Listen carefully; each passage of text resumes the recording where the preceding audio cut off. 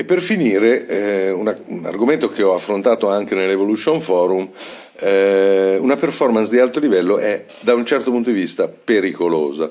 e ci sono dei rischi nella performance. Intanto il rischio è quello di perdere l'equilibrio, cioè eh, se immaginiamo che la, che la nostra vita sia una cucina con quattro fuochi, ce ne sono di più, ma facciamo finta che siano solo quattro, e che sono il lavoro, la famiglia, le amicizie, gli affetti, il tempo libero, la cultura, i viaggi e la salute, la palestra, l'alimentazione il sonno, e diciamo la non esistenza di droghe eh, per mantenere alta la performance, se uno dedica troppo tempo a uno di questi fuochi, cioè se fa alt- non fa altro nella vita che viaggiare, o non fa altro nella vita che studiare, o non fa altro nella vita che stare con gli amici,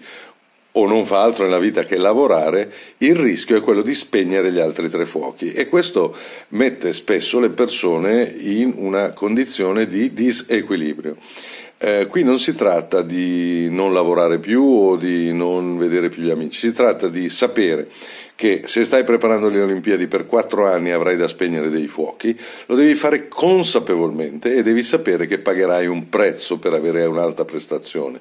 un prezzo che non può essere pagato con l'uso di, vi ho fatto vedere una diapositiva all'Evolution Forum, delle droghe che sono così diffuse, droghe illegali che sono così diffuse eh, nel mondo occidentale dove si richiede a tutti una performance di altissimo livello. Di questo parleremo perché l'ecologia evolutiva, cioè la capacità di mantenere un sistema ecologico, cioè che nutre se stesso, ma non solo rotondo, anche spiralico e quindi evolutivo, l'ecologia evolutiva è di fondamentale importanza per mantenere la performance sul lungo periodo, non solo nell'arco di un anno o tre anni, ma vent'anni della vita professionale di una persona. Di questo parleremo il 28 marzo al Salesforce.